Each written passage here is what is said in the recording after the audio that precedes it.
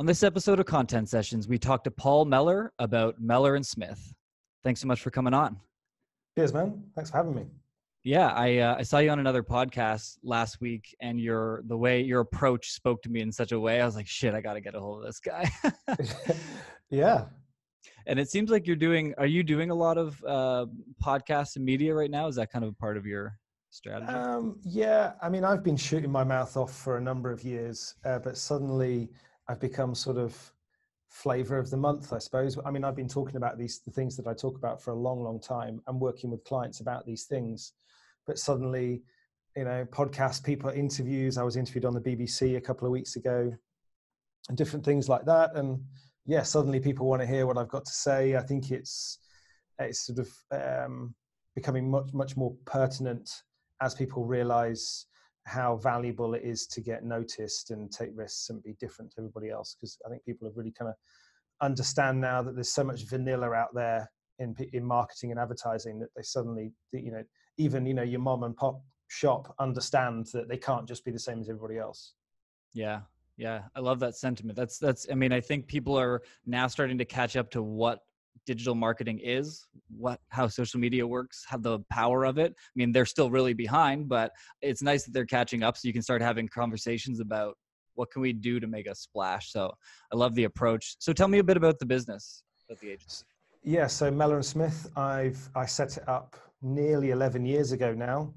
Um, and we are based in London. Um, we're based in Borough Market, which is a trendy part of London. Um, and we work with businesses large and small. So we work with you know small little startups right through to some of the biggest businesses in the world. Um, and we work with them on their advertising. So we're a brand and advertising agency. Uh, our um, our DNA is that we get brands noticed. That is it. We we get you noticed. It is incredibly difficult to get noticed. Uh, 89% of advertising is forgotten. Um, and we sit in that 11%. We, we make advertising that tries incredibly hard to get into that 11%. So just the, it's, I, I, I always want to just reference that stat because it's, it's the, it's the lens with which through we look at everything. So the average Londoner, and it's the same if you're in any kind of built up urban area, the average Londoner sees a thousand ads a day. So that could be radio, TV, print, mobile, social media, everything of those thousand, 89% of them are immediately forgotten. Sure. That's a, that's a fucking joke. and of those 11%, 7% are remembered uh, negatively and only 4% remember positively. So that's, yeah. I mean, that, that shows you how much of a shit the customer doesn't give about your product or your service. So you have to Nor should they, I feel, right? No, no, they shouldn't. You know, you've got to work fucking hard for their eyeballs and their attention. You know, yep. if, if they gave if they gave attention to everything, then you know it, it, life would be even more difficult than it is. Um, but yeah, it, like my job as an agency owner is to get my clients' uh, brands noticed. That's a very difficult thing to do, um, but it it can be done, and we do it on a pretty regular basis now. Awesome. So before we go into kind of the tactical side, because that's a that's an interesting kind of dimension of it. When you said you work with you know really small and then really big, that's usually um, typically speaking it's usually kind of we focus on small or we focus on big. Why do you how do you work it where you've got room for both? So we work so we work with the biggest company in the world. We work with amazon um, and we've been working with them for the last eight nine months so they're huge. Yeah. Um, and we work with some other huge uh, so in the us we work with um, expedia the travel company. I mean they're massive yeah. right um, and then we work with tiny little startups, um, uh, you know, that you would never have heard of. We work with some charities, and we work with some mid, and actually actually work with some mid-market size firms. The reason why we spread across those areas is. Um, Amazon aside, and maybe Expedia aside, you know, because they're, they're slightly different. The generally speaking, most industries split into very similar patterns.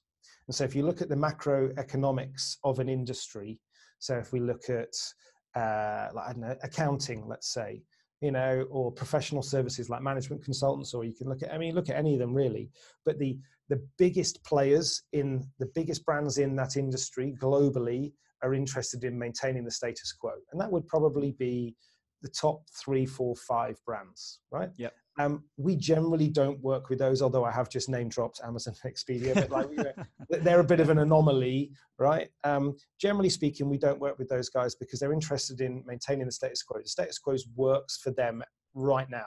So they're not interested in rocking the boat and doing things differently. They're interested in, in optimizing the shit out of what they're already doing. And we are not that business, right? Um, what we're interested in is people that are mid-market firms that want to get up to that big, uh, you know, one of those big players within an industry, mm-hmm. um, or they may well have been the biggest in years gone by, but they've fallen down the pecking order, and they're now a mid-market firm, but they were once one of the big guys. Um, so they both of those have to do something different to the really big players within that industry. Yeah. So we were, you know, with you know, sort of market share place, you know, sort of maybe five to fifteen. You know, those are the, the um, uh, those are the people that have to do something different to the big guys, and they have nowhere near the same budgets, and they don't have the recognition and the and the incumbent status that those big market uh, uh, those big sh- uh, market share owners have. And then we work with the tiny little guys, the startups that are trying to get into that industry, but nobody knows that they exist. Yeah. I mean, like other than their mum and dad, you know, uh, like nobody knows that this little startup exists.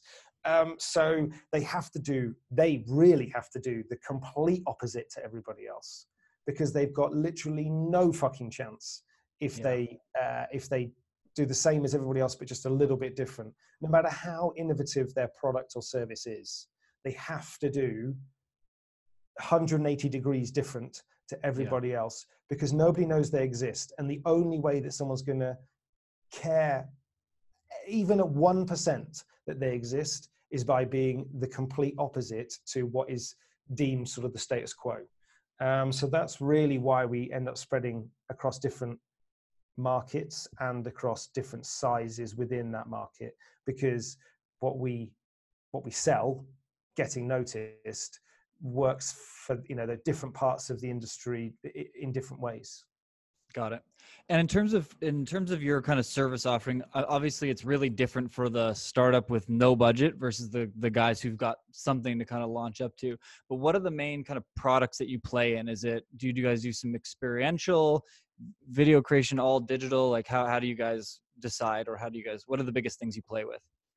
Um it, it, does depend on the client, right? So we are uh, uh, in a in a really wanky media term. We are media um, ag- uh, agnostic. I know that's Got probably it. a very very British thing to say, right? uh, but I'm a I'm a uh, say it as it is kind of guy. Um, the essentially we don't choose the media. With the idea is what starts, and everything starts with the idea, and then the you know the the media, the tactics will follow beyond that. But largely speaking um, we uh, sort of play in a number of areas in brand, brand development. So that isn't just a logo. I mean, it can be, but it's yeah, like, you know, often not. It's much more than that. It's you know, what do you stand for? What is your promise? Why are you different? What is your story? Um, and then all of that, how that sort of uh, reverberates out, um, and then advertising, and that can be TV out of home, so billboards, TV, radio. It can be social media. Um, it can be experiential. Um, it can be stunts. Mm. Um, it can be really anything. Yeah. Um, and you know, you talk about the you know the the little guys that have no money compared to the big guys. Yeah, you're right. You know, um, but that doesn't mean that they're at a disadvantage. Uh, they're at a disadvantage budget from a budget point of view but that is it. Yeah. You know, uh, you you only have to look at. I mean, like look at the uh, the climate change um, uh, protests that have gone on, and they've gone on across all across the world. But Extinction Rebellion sort of started in London, and it's you know it's one of those big the big names that are doing lots of climate change activism. They've got no money. Yeah. Yet they have managed to get their message front and center of every media news outlet across the world and they've done that on no money. And that's because they've yeah. taken a different approach to it every other time that there's been some sort of climate change protest. And that's a really good example. I mean, I know that it's climate change and not a product or a service, but this is, the principles remain. Yep. Yeah, absolutely. And so, what is your guys your guys process? I know I was reading on your website that you know you're a small team by design, and so do you kind of have it where someone comes in and like everybody's huddled around at the beginning, and you guys all kind of work through it together, or how, how does your kind of internal process go? Um, so we're a team of ten. So we're, we're small, and we're small for a reason. I mean, we're ten years. We could have grown much bigger, but I've no interest in growing a big agency. I want to, I want to grow the uh, the best small agency um, the which is the difference to which is different to everybody else. I mean, I'm sort of I'm purposely different in everything that I can do, uh, much to my wife's annoyance. Um, but uh, uh, how do we do it? Yeah, everyone gets around the table. Everyone in the studio is involved in um, in, in, the creative at the start. So we don't work in those traditional teams. So in, in advertising, in years gone by, you would have what they call duos, so copywriters and art directors, two people working together as a, a duo. We follow that principle to an extent, but we actually have a team of 10 uh, working on it. And then once everyone's kind of got their immediate thoughts out and can we get the ball rolling then it's given to a, a, duo and a, you know as a team and then they run with it. So we we follow the print you know sort of old fashioned principle but we do it we, we like to get everyone out and, and involved first and then we focus down on a team and and those people will then run uh, you know run with it and run the project. And and we've found that over the years is the best method for us. Everyone's different right? But that sure. that works for us. Mm-hmm. yeah i know from our side um, you know we've we've tried to adapt some of the the more in-person things even though we're a fully remote team. So it's been really that dynamic's been really interesting for us where we're trying to okay how do you put the feeling of being in place in the same place into an actual remote team? And you know we use a bunch of tools but yeah i mean I, am a little bit jealous of of having everybody in the space at times because you know lost in translation you know you get that kind of stuff so yeah. yeah i, I like yeah. the office setup. And so what's what's your favorite type of client? Like who who's that who do you have a sweet spot of like who you like in the door to, to work with you guys? The ones the ones that want to get noticed the ones that get it. Um they, there is no sort of sweet spot. We have a, a, few specialisms i would say industry specialisms within the business um uh, you know we we have worked a lot in travel uh, we work quite a lot in um, the drinks so alcohol sector uh, we work a lot in uh, technology those i mean those are specialisms but we work in some really diverse um, uh, industries, and we don't really have a sweet spot in terms of industry. We have a sweet spot in terms of the appetite of the client. So if they if they fancy it, you know, if they mm. really want to grow and they really want, they get what it is that they need to do, then they are the absolutely perfect partner, and we will run through brick walls for that for that person. Um, you know, uh, and the, you know the results that we've had sort of speak in that in that kind of general general vein. Um, eh, we're not. Uh, we're actually really easy to work with. You know, um, we get a lot of people ask me. So you know, you, you must be quite difficult to work with because we don't like to. Uh, we, we, are we partner with clients, but we we say no quite a lot. You know, we're like no. That's when, when they come up with ideas. That's not because we are the sole source of the best creative. It's just so, mm. it, the law of averages mean that we're probably going to be the better place to come up with it and they may try to um, you know kind of get involved and that doesn't mean that we don't like people getting involved but we're really clear about where the boundaries lie um, and you know we're we're hired for a reason. Um, but that means that we're really easy to work with. You know we we like i said we run through brick walls for clients. We'll uh, we break the law. Um, you know we'll we will uh, we, i mean there's this uh, we put on a stunt. They got quite a lot of press uh, in the uk we put on a stunt where we took over the the underground, the London Underground, one of the lines, the Bakerloo line.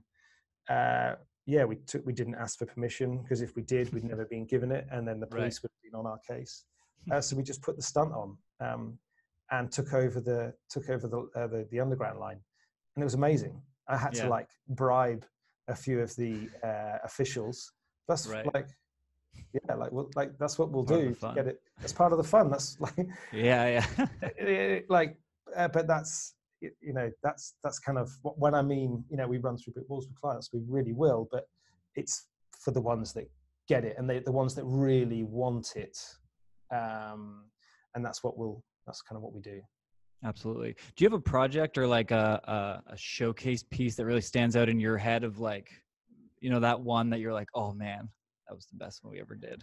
Uh, there's a few. There are a few. Mm. Um, there and there are some. There are some good ones. I mean, the one that I just referenced there, the the one on the uh, Bakerloo line, that was a really good one. It got some good press. And Which brand was that for? So that was for Fawlty Towers, the theatre experience. Quite a quite a niche uh, client. We don't work with any other theatre companies, although quite happy to if there's anybody out there that's on Broadway or in the West End. Um, but it, it, they are, a, you know, they're a theatre experience for the for the TV show Fawlty Towers. I don't know if you maybe you've heard that. It was really big no. in the And it has this cult following. Um, so we put that on, and, and that got quite a bit of press. Um, we from that I mean that's really B two C. You know that is that's almost like that. You know their their market is tourists uh, coming into London. Um, from the other end of the spectrum, there's a uh, we work with a B2B brand um, called Egencia, where they they they organize business travel for um, for brands. So okay. you know, if if yeah. you're a big brand, they will uh, they will book the um, the travel for that. You know, so if you're IKEA, for example, um, they will book all the travel for IKEA's travelers overseas. You know, when they're staff are traveling. Um, it's really big business, but it's it's you know it's pretty dry. It's B two B, and it's it's not it's it's not consumer orientated. But they they were having um, you know they're grown incredibly fast. I mean they're a really big business, um, and they were getting attacked from both above and below in their market share. So they were one of those you know they uh, they had been one of those mid-market firms that had grown and grown and grown and they'd got up to they were in uh, fourth position in the market share globally. Um, and that's because they'd constantly done things differently, but they were getting attacked from the guys above, the first, second, and third. And then there was the new startups that were nipping at their heels. Um, sure. yeah. so they were getting sort of attacked on both flanks. And so we created a, um, an ad series for them that's run on uh, you know various media uh, that debased the competitor claims. It's been so successful.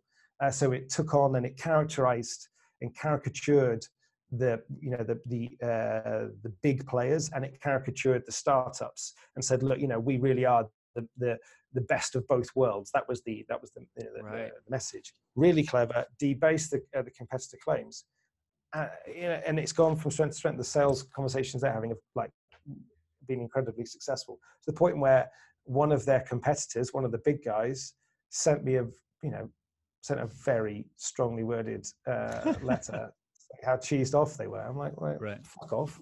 I've done my job properly. If, you, if right. you're getting annoyed, like you're getting, should have hired me I've done first, my fucker. Job. yeah. Yeah, that's and that's real B two B. You know, that's not that's not B two C at all. You know, that's sort yeah. of a, um, a really good example in that in that respect. Very cool. And then um, I, I also heard that you kind of inadvertently got into the the meetup uh, in person kind of space. So tell me tell me about that. Um, so we've been talking a long time to, you know, like I said, we've been going 10 years and we've worked with brands all over the world in that time. Um, and we've been talking about taking risks to get noticed. That's what we do. So we do the opposite, which is, which is you have to take a risk, do the opposite to everybody else, and that will get you noticed. Um, and I can only talk to one client at a time, you know, one boardroom at a time. I can explain the benefits of and the virtue. So we were in the pub and we were just having a few beers, uh, uh, all the guys from the studio. I was just like, look, why don't we just do a fucking event? Let's just do an event. Let's call it Take Fucking Risks and see what happens. And so, you know, a month later, we did a meetup and 50 people turned up. I couldn't believe 50 people turned up.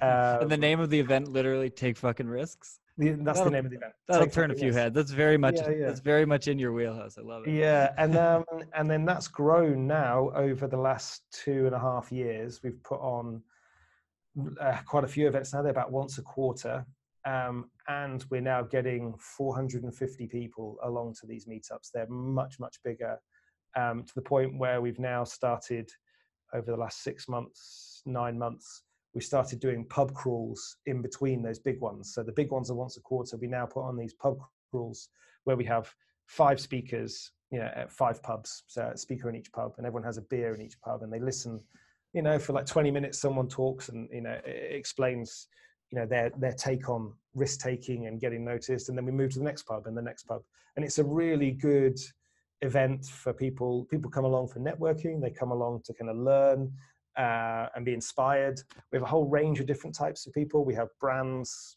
you know, prospective clients, uh, agencies, so our competitors, students, you know, sort of, ev- and, and everything really in between. But take fucking risks as a whole is uh, has been really successful at promoting our message, and it might well be one of the reasons why I'm starting to get, you know. Uh, um, a bit more uh, attention as to what we're saying in the press and things like that because you know we've we kind of put our money where our mouth is and we put these events on. Yeah. Have you do you feel that that's been one of the bigger lead gen tools for you in the past couple of years? It has um it's one of those things uh i'm i'm I, I take a pretty prosaic view as to what generates business. I think it's the sum of its parts. I don't think it's just any one thing. So we have we have these events. We have uh, you know our work. We have a podcast of our own. Uh, we uh, not want not want to plug a podcast on somebody else's. Um, no, no, please. what is it called? What is it called? It's, it's called TF, TFR the podcast we're not allowed to say the word fuck on uh, Spotify or um, iTunes. So, uh, so it's oh, TFR really? for the. For oh, the, as the as the title, you can. As the title, yeah, oh, yeah, yeah. That's a bitch, yeah. Um, and we're sponsored by so Spotify sponsored the event, uh, the events nice. and the podcast, which is great. It's wonderful to have such a cool partner and and a, and a partner that really kind of gets the message and and and how that fits within the media landscape and the creative landscape. Um, and they're they're brilliant. Um, the know, but how that fits within a lead gen to go back to your point we, it's a, it's a sum of its parts. So we we have um, you know research that we produce. We have uh, other thing you know other things like that. It's a it's a constant banging of the drum around this core message and it's a very singular message. Um, and then you know it's you know someone might come along to an event. They might listen to a podcast they might read some of the articles that we've written uh, you know thought leadership etc and then they will then get in touch or they might have seen some work might have been to an event. You know it, it, it does vary. There's no any one path. Uh, yeah. you know i mean uh, business development you know really it subscribes to the principles of advertising. It's the same thing. It is frequency and reach. So reach as many people as possible as often as you can. Um, and then you know with those principles the credibility of a good creative message that is memorable is what will get somebody to remember you you know to to to recall you when they need to. Um, those are generally the the principles that we that we kind of abide by when it comes to lead generation. Um, got it. I mean like i'm sure there are people out there that can give you six easy steps to you know and then give you some bullshit list but like it's not really my not really my style no, no, fair enough. No, I was just curious because you know when we started the podcast back in February, we're I think this will be our 34th or 35th episode that we've recorded. I've been yeah. finding just advertising that out on on on social and you actually doing paid ads on YouTube for it because uh, they're a little bit they're kind of have a tactical message so I can use keywords to kind of target them. Um, I've been getting a lot of phone calls just oh I heard this idea or I heard about this thing that you were yeah. talking about and it's been great. So I think anything. People, I think people's behaviors have changed, and also anyone that thinks that they can predict human behavior is on a different fucking planet. You know, we are we are not we're not robots. People are, you know, they are uh, so enigmatic. Even yeah. even the most straight laced conservative people, you know, do not follow a formula. So you cannot possibly predict with any kind of certainty the types of behavior here. You know, you really have to have something that you think is compelling um, and memorable and you know uh, warrants someone's attention and then smash them in the face as many times as possible with it with something that you know and there are some media that's more effective than others uh, but you know really it, it, it, has to use the principles of advertising for sure. Yeah i always laugh. You, i don't know if you've seen those ads on facebook as well where they're like why are you still talking to clients on the phone? Get like automate your entire sales process using like what the fuck how do you get a client without talking to someone? That's such a load of shit. Well i've never i've never met a client that doesn't want to speak to you. So yeah.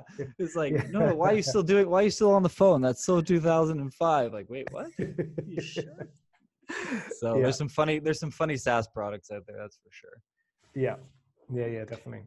Have you ever thought about uh hosting some of the the content and some of the talks that you're doing in a in a digital ecosystem rather than some of the in-person stuff?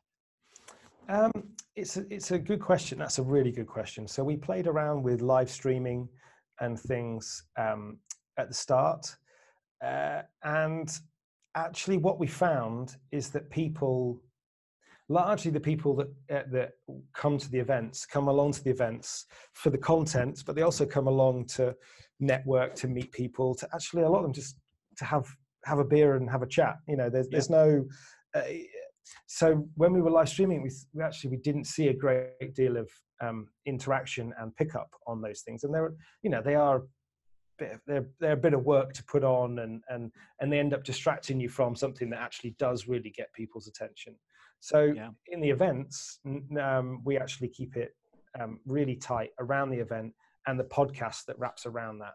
So yep.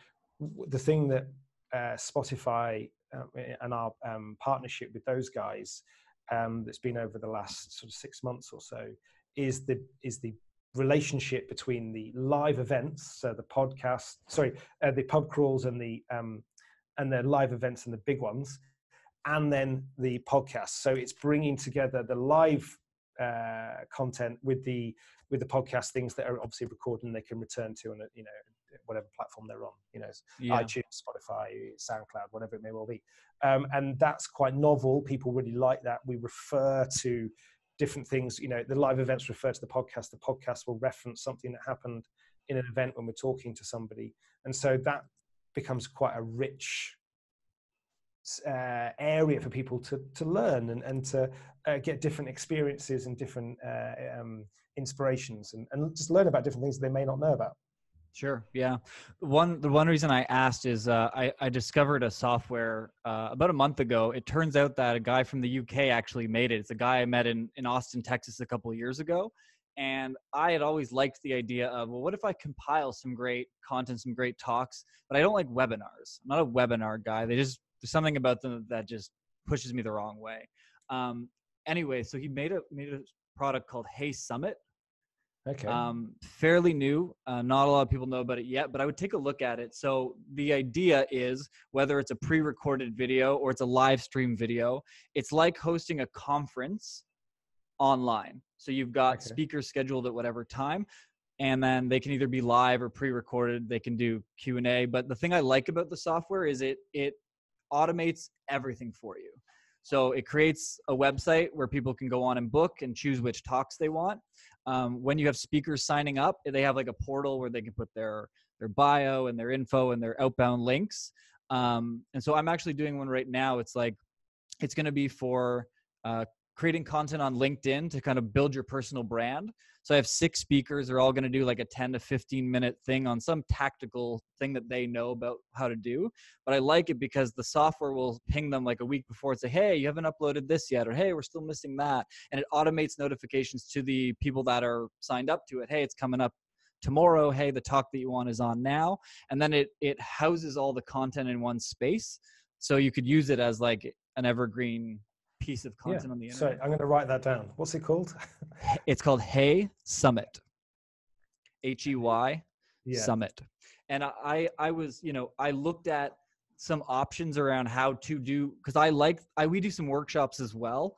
And um but but the idea of putting them online was always a big challenge. What am I going to do? Make a mini site? Where am I going to host the videos? It's going to be all Google Drive links. It's going to be ugly as shit.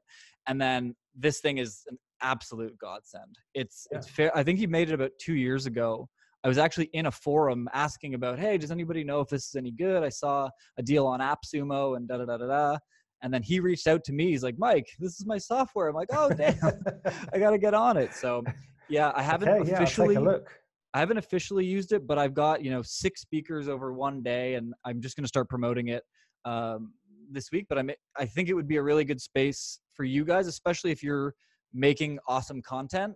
You're not quite sure how to keep it in one place for people to have a portal to learn or to be able to participate if they're further away because that's always gives you a bit of an advantage if someone can, can watch it on their own time right come watch yeah. the recording whenever you want and all that stuff so. yeah yeah definitely okay i'm going to take a look at that that sounds interesting yeah and then I was like, I was just curious because I, I tried to look it up before, but I wasn't able to see. Do you guys do your own Google and Facebook ads? Do you run any ads right now for yourself? Just out no. of curiosity. No, no. no. So um, our, I suppose, our advertising is our predominantly our work. Um, because you know, if it's doing its job, then other people are going to see it, and then you're yeah, going to yeah. find out about us.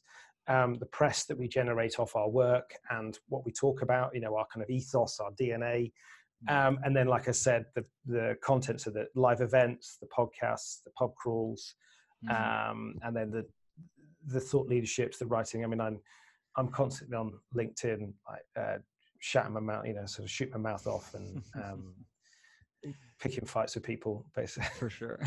I was just curious, yeah, because sometimes, like, and I don't, I don't use it for like net new inbound but I like to, you know, if if we had some PR or some whatever, it'd be nice to run that piece of content as like an awareness thing. But um, I guess I guess being that you you guys are small by design, as long as you've got the door knocking as much as you need it knocking. Um, yeah, it's one of those things. It's kind of who you know who you want, and and you know, is someone going to buy our services based on some social media advertising? My you know my guess is probably not that many and so does it warrant uh, does it warrant it if we were doing something else then probably it would you know mm. and i also think that the uh, the way that the the london market works you know that uh, the, i mean we we work with clients all over the world but you know there's a good concentration of them uh, in london. Um, eh, you know really it, it's it's a word of mouth it's uh, they come along to the event it's that kind of thing that ge- generates um, you know leads uh, as opposed to social media stuff. If we were selling a product um, or something that was more or a service that had been commoditized then maybe it's something that would uh, would work for us but probably yeah. uh, more on um, uh, for us it's it's more about the sort of the richer uh, live environments that uh, the the, the the richest source of leads and, and and kind of just getting our name out there for us yeah I love it. Yeah, I mean, you guys are a perfect example. And I have conversations with people all the time. Oh, well, we're only a couple people, and we couldn't do this. We wouldn't have time for that. And I'm like, no, no, you're just you're just not making time. You're just fucking you're lazy. Just no, You're just fucking lazy. Like you know, like I mean, the the uh, the lady that runs uh, Take Fucking Risks. Mm. You know, so Cookie Tabiner, she's fucking amazing. She uh, she was an intern. She was interning with us for three months when we decided when we were in the pub to decide to do these events and obviously she was an intern she was keen to get a job mm-hmm. um, and she's like fuck it, hand them up i'll do it no experience literally yeah. no experience she was a graduate she just finished university um, and she is now you know the queen of tfr she's the queen of take fucking risks right. um, across london and she runs those um, single-handedly pretty much she pretty much puts them on single-handedly she does everything about them, and she does that, you know, in conjunction with her day-to-day job, you know, as a right. creative.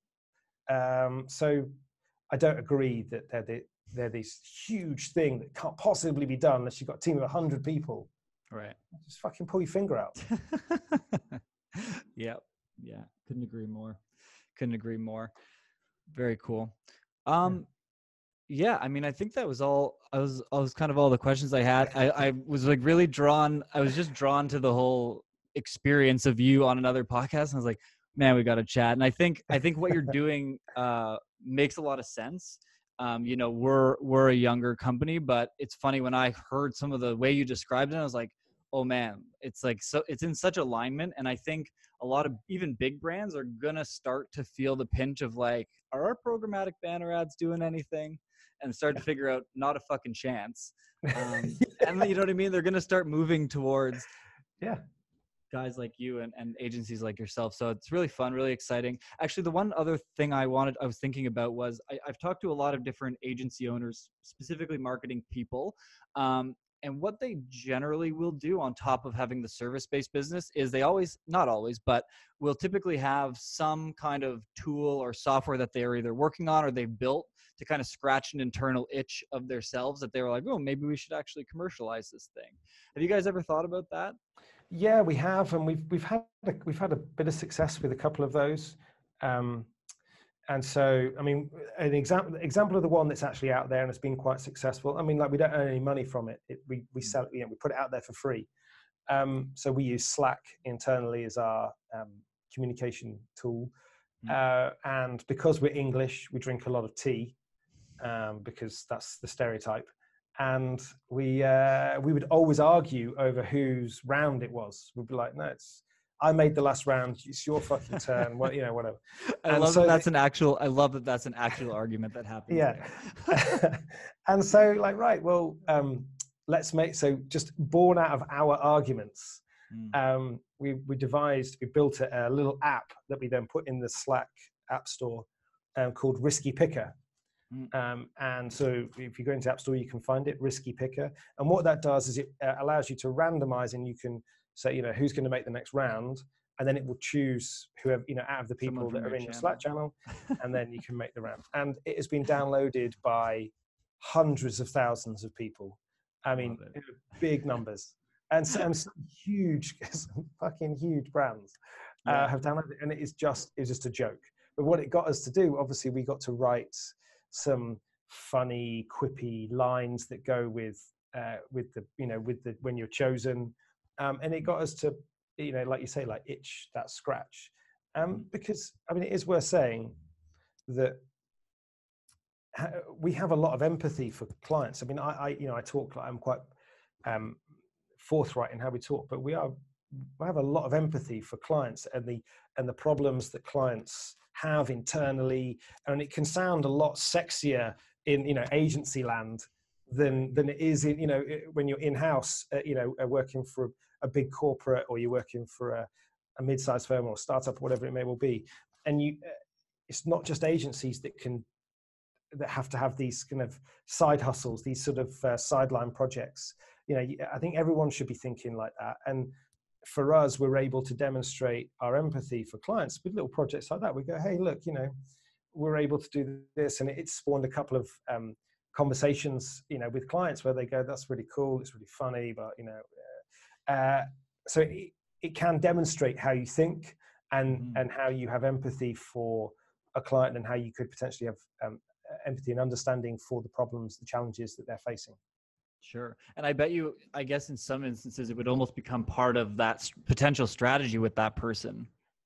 Yeah, it can be. I mean, I think people can, and I've seen a lot of side hustles. I mean, the, the, you know, the UK we call them side hustles. I don't know if that's the same in the states. Yes, but, same deal here. Yeah. Um, but I've seen a lot of them fail because people overcomplicate them at the start. They think about how am I going to sell this, you know, for hundreds of millions of dollars in two years' time. You're like, no, yeah. don't fucking think like that. Just think about getting a small product out there that probably is clunky and it's a bit cumbersome. It doesn't really work that well, but it's you get it out there and then you refine it and you work on it. This is a side hustle. This is not like a client yeah. project. This is something on the side. You know, you're not getting paid for this. Don't have these grand plans about how you're going to make hundreds of millions of dollars when you sell this little thing that you did on the sidelines. If you do, then great, but get it out there first. The, the most difficult thing is getting something out there, and then you can refine it and you can play with it. And if, you know, you may well realize shit there's loads of people that really want this right i'm going to put some more time into it and i'm going to refine it or people go what the hell that's just ridiculous that's right. not that's that's not even a thing that's just yeah. you just wasted your time and you go cool didn't Got know it. that um, won't put any more time into that think of the next one so yeah. yeah i think a lot of these people they they they overcomplicate them at the start. You just got to start really simple. Think of a problem that you've that you experience yourself and just get something out there and, and see what happens. Got it. And actually one final thing sorry what what advice do you have? So you know there's going to be small businesses and some entrepreneurs listening and and and obviously not all of them are going to be a good fit as a client for for you know for yourself. So if you were to give some advice how, how would you tell people to think about what it is that you guys do in terms of taking risks? How do they go how do they go into it with the right mindset when they think about how do i market my my little company here that i'm going to try and do myself? Um, so th- there's a couple of ways you can do it. The first one is to think uh, no one really cares. Like no one cares about you or your product or your service. You know really no one gives a shit about you so you have to try so hard to get their attention. Now you've got some people that are clients, that are customers already there, so they do care a little bit, um, but not that much. Um, you know, you're you know you're not Apple, so you, you're not they're not carrying around your your iPhone in in their pocket, and they're like, "Fuck, well, I'm screwed if I don't have my iPhone." You know, right. let's, let's, be honest here. Um, so think like that, and you think, well, how could I get someone's attention if they don't care? About me. And if you're able to have the humility to put yourself out there and the, and the uh, the I suppose like just the fragility of that. You go, look, I'm going to put myself out there, and it is it's daunting to go against the grain, you know, uh, and to go in a different direction to everybody else in in an industry. That is daunting, and it takes real guts. But it if it if it makes you feel nervous, then it's the right thing to do you're on the right path.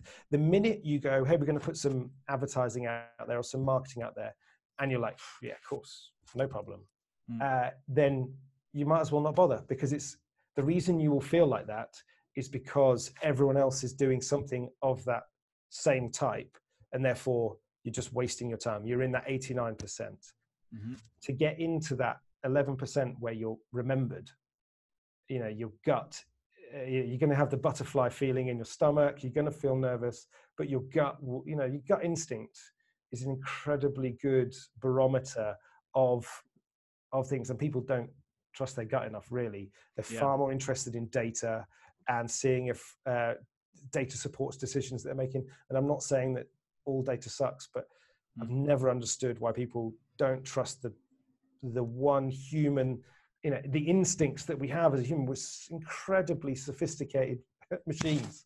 Um, so why would we not listen to that stuff? And if you, if, if you feel nervous when you're about to put something out then that probably means it's the right thing to do. So to so my advice is to trust your gut. Um, as it comes to working with us like we'll work we'll work with anybody. We'll sell yeah. you know we'll sell anything. I mean i'm not uh, I'm not fussed. Um, so, uh, so I, I, think that's the that's the piece of advice that I would have in in that respect. Love it. That's perfect. And actually, really funny that you said nobody cares about what you're doing. This is I have to show you this just because it's funny. This is this has been on my this has been my screensaver for years. What does it say? Uh, no. Nobody cares about what you're doing. Don't forget that. It's such a motivator for me because it's it's funny that you said it because it's so true. yeah. So perfect. well, look, um, look, I really appreciate your time, and uh, it was a it was a great chat. Where can people find uh, all of your? Where can they find you on the internet? Okay, so we are on. Uh, so Mellor and Smith is that you can find me there. So that's mellorandsmith.com. Um, the best place to find me personally is on LinkedIn. So I'm just just search for Paul Mellor. Um, you'll see me. I'm in a bright. I'm in a set of bright pink overalls as my uh, profile picture. Um, I don't really go in for any of the other social media. Um, and then in terms of take fucking risks, uh, if they want to get tickets or find out more or any of that kind of stuff or podcasts, then you can just you go to uh, tfr events. So TFR is in take fucking risks dot events. That's the web address and they can go there. They can see what uh, speakers we've had and the and the various th- events we've got coming up, and then you can link to the podcast, the people we've had on there, and and yeah, like come and uh, come and troll me on LinkedIn. I don't mind. You know, like yeah. it's cool. awesome, man. Well, thanks so much. No worries. Nice to meet you. You too, man. Thanks. Bye.